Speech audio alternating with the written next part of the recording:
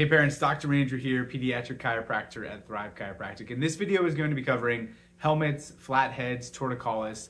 Why is it happening so much? What can you do about as a parent and why the typical approach to just wait and see, let them grow out of it is really not the route that we want to go with these challenges. First, let's just understand what we're talking about because there's several different words that can be used to be describing this. Torticollis and plagiocephaly are the, the technical scientific terms that you'll hear thrown around. Torticollis would be referring to any sort of head rotation preference. So if you find that your baby in the car seat is always looking in the same direction, or maybe their head is tilted to the side really frequently, that is what that's referring to. Frequently, it's going to be connected to plagiocephaly, which is leading to this flattening in the back of the head. If our head always has one side of it that's facing the back of the car seat, the bed, whatever the surface is, that side is going to start flattening out and not going to have the same rounding and bone growth. So, a few things that you can look for when you're trying to see is this what's going on with my kid.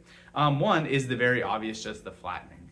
If this gets bad enough, you're going to be able to visibly see as a parent, without any medical training, without any background as a provider, you're going to see wait a minute, when I look down specifically, and I've got a baby Sophia here to help with some visuals, if you're looking down at the top of their head, you'll tend to notice that maybe instead of a nice rounding that's very symmetrical on side to side, it kind of pulls in one direction and one side seems a little bit more flattened out or straight. That's one thing you can look for. The other thing that, depending on the age of your kid, sometimes they go through a little bit of a hair wearing pattern. So, depending on how much hair your kid has, what color it is, you might notice that it wears and they develop a little bit of a bald spot. That bald spot might not be in the middle. You might notice it on one side more than the other. That's another little clue or a sign that you can pick up on. Uh, the other ones that uh, sometimes will go hand in hand with this, a nursing preference, right? If you're breastfeeding, you might find that your baby is more comfortable on one breast versus the other because the way their jaw or their mouth has to move. Or maybe, you know, we've heard parents say this, they nurse fine on both sides, but on one side you have to hold them in more of the football position or some other position, whereas they can go in more of that cross your body move on the other side. Any of those preferences, asymmetries, or tendencies they have would be an indicator to me that they probably have a little bit of that extra torsion or tension. Another thing that is a little trickier to look for, but if you're paying attention, you can sometimes see some eye or cranial asymmetry. You might notice that one eye is a little bit more squinty or a little bit more open. They seem almost offset, like one's closer or farther away. They might not seem as evenly spaced as you think they should. All of those things are indicators that that baby has some extra tension, some extra shifting in stuckness. That's my favorite little scientific word here on this stuckness in that head and upper neck region. So, what that tells us is that we've got to address it. Unfortunately, most of the time you, you might bring those uh, questions, those concerns up with a pediatrician at a two month, three month, four month visit. And typically the phrase that's used or the recommendation is, well, let's just wait and see. They'll probably go out of it. We'll, we'll check in again when you're back at your four month or at your six month or whatever that next appointment is man, that is missing the mark so much. I understand it from their perspective because their training is in so many other areas. It's not physical examination, it's not looking into those details. So they're not necessarily trained to look at it from that perspective. They're going to be thinking about things from some other sort of lens, some other sort of framework. So I get it, but also we need to do better because we need to realize that these things are connected to other pieces of the puzzle. So instead of just saying, hey, let's grow out of it, or maybe at best in that four or six month window when it gets worse, when it's not improving, you go the PT route and you're adding stretches or different things. That is missing the actual issue at play. So that is the one thing I want you to steer away steer away from as parents is trust your gut on this. Don't let someone just say, hey, let's hold off on this, let's wait till it gets worse, let's wait and see, because more often than not, that is going to just let this problem get more and more challenging. And I bet you know that as a parent, right?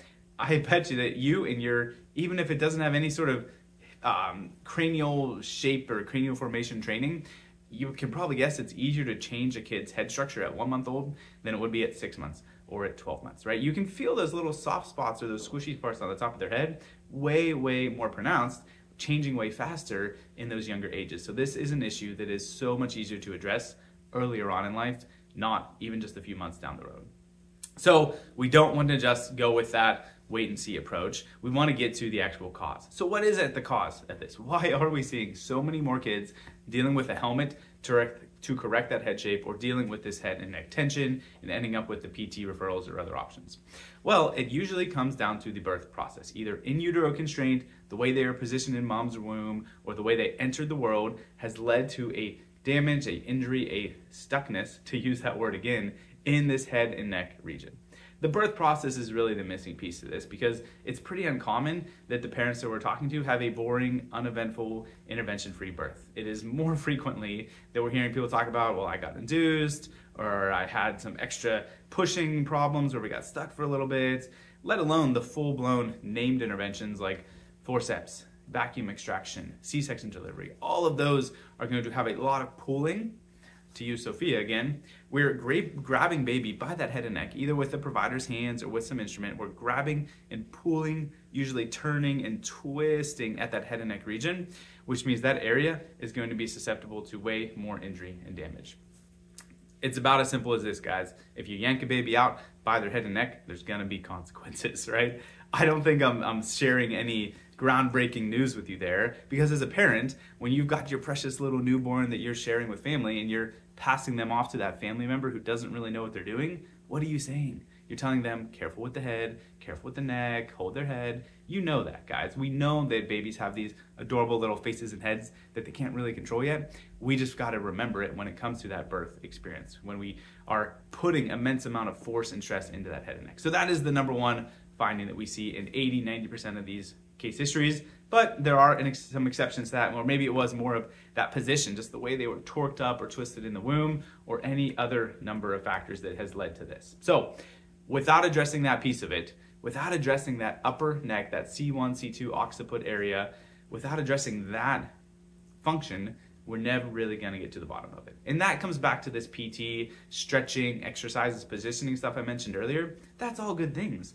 But it's really the combination of that with addressing that upper finding that's going to really get the kid the results and the improvements. Typically, you know, we'll have parents that are coming in, maybe they've gone through that PT route already or they're in the midst of it and they've seen changes. It's made a little bit of a difference because they got tips on how to hold their kid or they've done some different stretches, but it's not until we start addressing the underlying tension that they really take off and see the changes that they need. So, uh, what might some of those positions be? That is something we talk to parents about all the time. Let me give you a couple quick tips on that because there are some things that you can do to help accelerate that along with addressing that underlying cause. Uh, really, some positional stuff is what comes to mind first for me. You probably heard people talk about tummy time. Question we get at Thrive all the time is how much tummy time should we get? Um, Side note, usually kids that are dealing with these issues don't really like being on the tummy, so this makes it kind of challenging. Um, but the question they have is how much tummy time should I be trying to get for my kid? I really think of that in the opposite sense where tummy time, not being on our back, should be the default mode. And that is how I would reframe it for you guys. Is don't think about this as straight tummy time where your baby is on the bed or they're on the mat and they are just face down trying to struggle and lift their head up and work through it that way. Part of tummy time should be that, but think of tummy time as just not on the back time. That could be you holding them. That could be baby wearing. That could be you're lounging on the couch and they're resting on top of you. There are so many things that could go into not on the back time rather than just tummy time. So, first off, is just think of it that way. The less time we can have on our back, the less pressure that is going to be leading to that, because that's what takes place. Say baby Sophia here has that upper cervical subluxation and stress. She only, or at least preferentially, looks to the right side. That means that back right side of her head is always going to be on the surface of whatever she's laying on. That pressure over time is going to not allow her skull to form and to develop like it's supposed to, which means it's going to start having that flattening. So the more that she's not on her back, the more that that isn't taking place. But then the other benefit of the actual tummy time or the time where she is working on engaging, there's this uh, this law known as Wolff's law that basically says bone grows as it is stressed. So when she is on her belly, when she's fighting to lift her head up, all of those muscles on her upper back into the back of the head have to pull at this back of the head. It's lifting up like that. So that pulling and lifting in the back of the head is literally helping form the bone growth in that direction. It's pulling the skull back out. So that can really exponentially increase our results here is if we get more belly time, that pulls back at it and it lets that bone grow faster. Now, if you've had a kid in this situation, you probably can remember when they're on their belly, a lot of times if you're even if they are tolerating it okay they'll probably have that same cockeyed torsion and twisting that they had on their back when they're on their belly which brings us back to we really have to address this cause we've still got to address that upper neck issue. That's where pediatric chiropractors come in, and that's where I'm so, so thankful that we can address these things and get to the bottom of it. Uh, for two reasons. One, it addresses the current issue, but then it also prevents some future ones. Uh, what we usually do with kids who are in this scenario is we'll come in, we'll get to meet mom and dad, chat through this case history, and the most important piece of that first visit will be doing our scans, digging into the neurology at what's at play, and actually measuring that neurological piece of it. That's the coolest thing. We get to not just guess at how their body's functioning, we get to quantify it and objectively measure it. Because the thing is, as much as these are problems, they usually go hand in hand with other newborn issues nursing issues and latching problems, reflux, fussy, colicky babies that don't want to sleep are the ones that are typically dealing with this head rotation preference too. And honestly, it doesn't even stop there. The kids who grow out of that or eventually are beyond those challenges, if they don't address the actual why, those are the kids that tend to end up with more future issues like uh, maybe ear infections as you know 6 12 months down the road because that same upper neck issue is going to clog up the drainage in that ent system. So now we start having the ear infections and those issues. That same neurology up here is what is working at our higher level cognitive functions.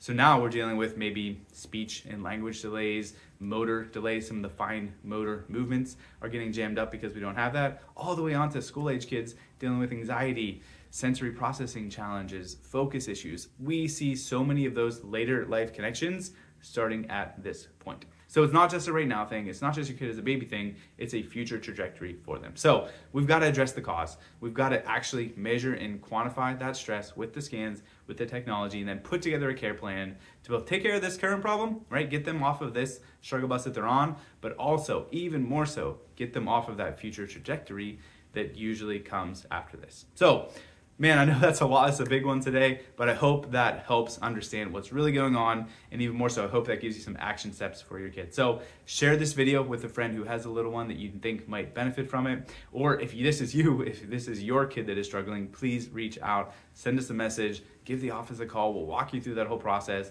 talk about what it looks like to get your kid scanned, get that gentle, specific chiropractic adjustment game plan started, and we'll get them off this track and get them back to thriving.